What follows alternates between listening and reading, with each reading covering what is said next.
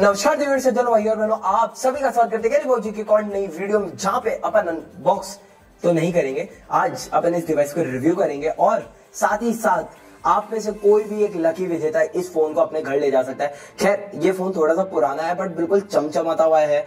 तो give away के लिए भी इस वीडियो को आगे तक देखना और साथ में अपन इसका रिव्यू देखेंगे। और बात करेंगे, क्या ये फ़ोन दो साल के बाद भी, क्या ये फ़ोन वाकई वर्थ है अपनी प्राइस का? और दूसरा, क्या आप लोगों को ये डिवाइस परचेज करनी चाहिए? तो चलिए दोस्तों, शुरू करते हैं इस वीडियो को।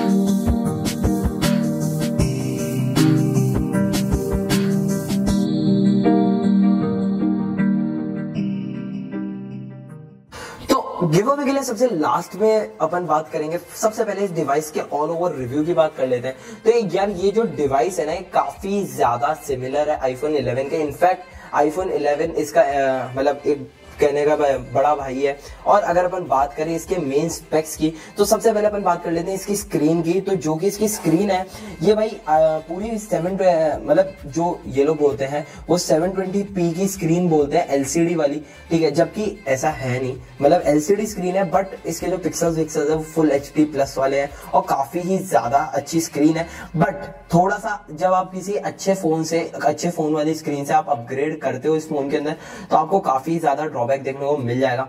जैसे कि मेरा जो पुराना फ़ोन था, वो वन प्लस सेवन प्रो था, पहले आईफोन 11 से पहले, ठीक है? तो जो मेरा आईफोन 11 की स्क्रीन थी और वन प्लस सेवन प्रो की स्क्रीन थी, उन दोनों में बहुत ज़्यादा डिफरेंस था और इसमें और आईफोन 11 की स्क्रीन में कोई भी डिफरेंस नहीं है। बिल्कुल सेम टू सेम स्क्रीन है। अगर आप लोग मतलब मार्केट में जाकर आईफोन एक्सआर की स्क्रीन आईफोन 11 पे लगाओगे और 11 के एक्सआर पे लगाओगे there is no single difference ठीक है? और इनके जितने भी कनेक्टर्स वगैरह आते हैं, वो भी सारे सेम से आते हैं। और काफ़ी ज़्यादा मतलब ठीक ठाक से स्क्रीन है। और मैं ठीक ठाक से सिर्फ़ इसलिए बोल रहा हूँ स्क्रीन काफ़ी ज़्यादा अच्छी है बट जिस प्राइस रेंज में फ़ोन आता है ना भाई, उस हिसाब से स्क्रीन इसकी थोड़ी सी कमज़ोर है, क्योंकि जो प्राइस ये ऑफ़र करता है, जिस प्राइस में स्पेक्स ऑफ़र करता है ना, उसके अंदर काफ़ी अच्छी 2K वाली ओलेड वाली डिस्प्ले आ जाती है। इनफैक्ट कर्व डिस्प्ले भी आपको आजकल देखने को मिल जाएगी। ठीक है, अब बात कर लेते हैं इसके कैमरा की। तो इसमें सिर्फ़ और सिर्फ़ सिंगल कैमरा है और आगे की तरफ़ भी एक सिंगल कैमरा है। दोनों में कैमरा है, बारह मेगा और सात मेगा के। और जहाँ तक बात कर लेते हैं कैमरा की तो मैं लिटरली बता रहा हूँ, आप कैमरा से डिसअपॉइंट नहीं होंगे। कैमरा काफ़ी ही ज़्यादा अच्छा है। ठीक है, और साथ ही साथ आईफोन का सॉफ्टवेयर इस कैमरे को और भी ज़्यादा अच्छा बना देता है। ठीक है, अगर आप बात कर लेते हैं बुके इफेक्ट्स की, अगर आप बात कर लेते हैं पोर्ट्रेट मोड्स की, अगर आप बात कर लेते हैं इसके वीडियोस की तो काफ़ी ज़्यादा अच्छा कैमरा है। बट एक छोटा सा ड्रॉबैक आपको ये देखने को मिल जाएगा कि यार इसके अंदर जो आ, अपने प्रो मोड होता है जैसे ये जिसमें आप एपर्चर एक्सपोजर वगैरह कंट्रोल कर सकते हो आजकल काफ़ी ज़्यादा फोनों में देखने को मिल जाता है। बट एप्पल ने वो सब चीज़ें इसके अंदर इंक्लूड नहीं करी है। पोर्ट्रेट मोड के अंदर ज़रूर आप इसका बुक इफ़ेक्ट चेंज कर सकते हो। बट और वीडियोस वगैरह के अंदर आप कुछ भी चेंजेस नहीं ला सकते हो। तो ये काफ़ी बड़ा ड्रॉबैक है जो मेरे को फील होता है। बट अगर अपन बात करते हैं है कैमरा क्वालिटी की तो कैमरा क्वालिटी काफ़ी ज़्यादा अच्छी है। आपको जल्दी से ज़रूरत नहीं पड़ेगी इस मतलब इसको मतलब मैनुअल मोड में ले जाए अरे कहना क्या चाहते हो? लेकिन बट अगर अपन बात करें जो इसका ऑटोमेटिक है वो भी काफ़ी ज़्यादा अच्छा है। ठीक है।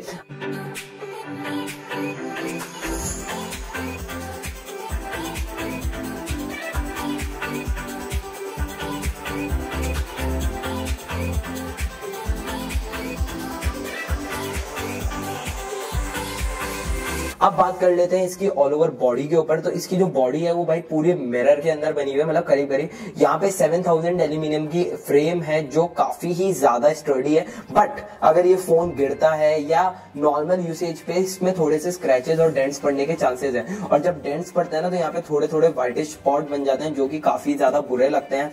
ठीक है? बट ऑल ओवर जो फ़ोन है, वो काफ़ी ज़्यादा मज़बूत है मतलब ठीक है। बट अगर आप इसको बिना कवर के यूज़ कर रहे हो तो काफ़ी ज़्यादा स्लिपरी है। तो भाई थोड़ा सा ध्यान रखते हैं। वैसे सब कवर चढ़ाते हैं बट हम लोग नहीं चढ़ाते हैं। और स्किन वगैरह आप चढ़ा सकते हो, काफ़ी अच्छी स्किन आपको इसकी देखने को मिल जाती है। ठीक है, अब बात कर लेते हैं इसके बटन की। तो जो इसका बटन है ना भाई, थोड़े से प्रॉब्लम वाले हैं, आपको बाद में जाके फील होंगे। जो इसका जो स्पेशली साइलेंट वाला बटन है, ये आपको बाद में कवर के अंदर काफ़ी ज़्यादा डिस्टर्ब करेगा। एक छोटा सा टॉपिक है जो मैं बताना चाह रहा था, कई बार, मैं क्या कई बार लोगों को बता नहीं पाता। ठीक है?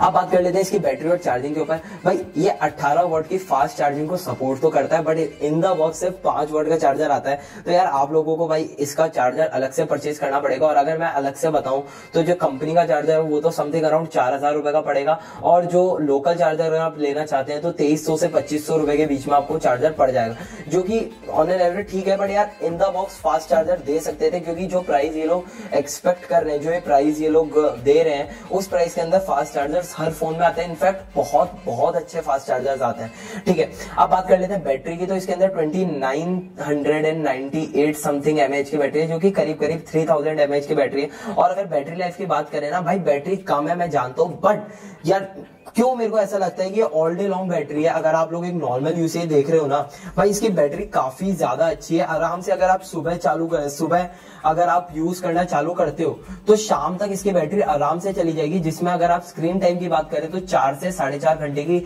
स्क्रीन टाइम आपको आराम से देखने को मिल जाएगी। ठीक है? बात कर लेते हैं, इसके अंदर वायरलेस चार्जिंग भी जो कि मेरे को काफ़ी ज़्यादा अच्छी लगती है। ठीक है, कहीं पर भी आप रख दो तो वायरलेस चार्जिंग आसानी से मिल जाती है।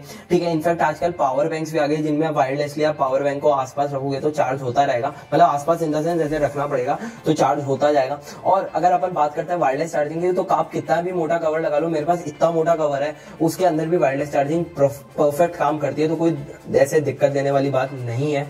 ठीक है ऑल ओवर अब आप लोग मेरे से पूछोगे कि क्या ये फ़ोन अभी वर्थ है खरीदने के लिए इन दो सालों के बाद? तो यार जो इसकी प्राइसिंग है ना, उसके अंदर काफ़ी अच्छे फ़ोन आ जाते हैं मार्केट के अंदर। जो अभी इसकी एग्जैक्ट प्राइसिंग चल रही है, वो है थर्टी एट थाउज़ेंड की। ठीक है, आज तारीख हो चुकी है समथिंग अराउंड बीस अक्टूबर तो इसकी प्राइसिंग चल रही है थर्टी एट की।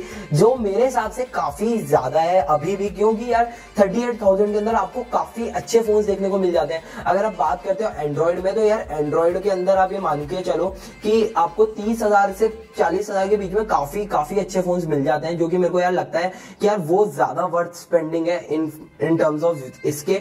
बट अगर आपको आईओएस फैमिली के अंदर आना है तो मेरे हिसाब से काफ़ी अच्छा स्टार्टर रहेगा भाई। मतलब मस्त, है ना? आप इसको आराम से यूज़ कर सकते हो normal day to day use के लिए। बट अगर अपन बात करते हैं इसकी प्राइसिंग को लेकर तो अराउंड इससे दस हज़ार महँगा ही आएगा। अभी एट प्रेजेंट जो आईफोन 11 की प्राइसिंग चल रही है फोर्टी एट फिफ्टी के आसपास चल रही है।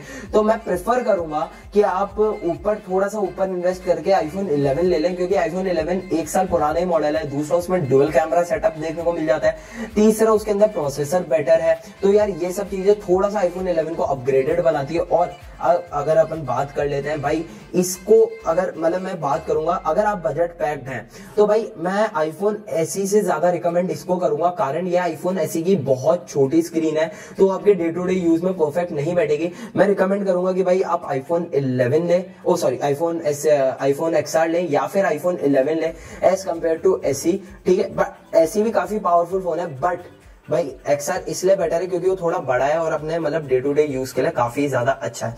ठीक है तो उम्मीद है। तो बात कर लेते हैं गिव अवे की। भाई गिव अवे के लिए आप लोगों को क्या क्या करना है? तो सबसे पहले तो भाई धन्यवाद एक्स्ट्रा सिस्टम्स के, जिन्होंने हमको ये डिवाइस काफ़ी अच्छे डिस्काउंट्स में प्रोवाइड करवा दी आप लोगों के लिए। और मतलब भाई इस डिवाइस के गिवे में काफ़ी बड़ा हाथ है एक्स्ट्रा सिस्टम्स का। ठीक है, अब आप लोगों को तीन सिंपल रूल्स फॉलो करना है। सबसे पहला रूल चैनल को सब्सक्राइब कर लेने का है ताकि आप लोगों को आगे ऐसा कंटेंट मिलता रहे। और भाई, ज़रूर से कर लेना और बेल आइकन दबा देना, ऐसे घंटी दबा के जाना। उसी के बाद, भाई वीडियो को लाइक करना है, वो सबसे ज़्यादा ज़रूरी है। भाई सब्सक्राइब के साथ में लाइक है।